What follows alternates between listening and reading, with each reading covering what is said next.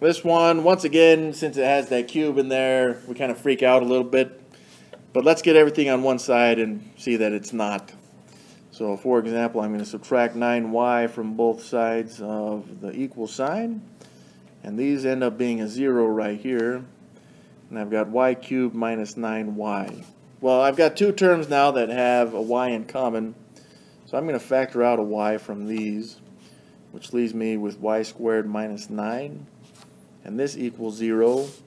So I have a difference of squares right here, because 9 is a perfect square, and so is y squared.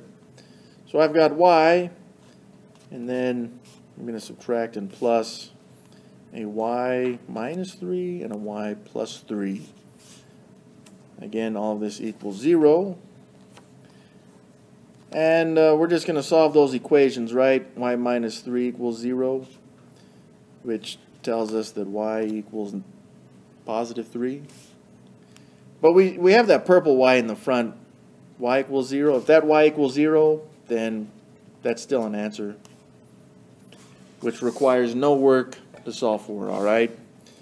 But we still have that y plus 3. We need that to equal 0.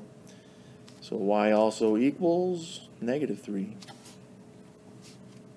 Three answers on this one.